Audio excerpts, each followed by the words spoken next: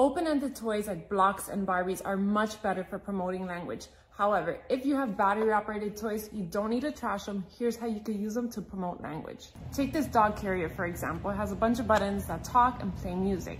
And sometimes what ends up happening is that children get fixated on pressing the buttons and they just press them over and over and over and they don't actually listen to what the toy says. They just continue to press and that can be kind of distracting.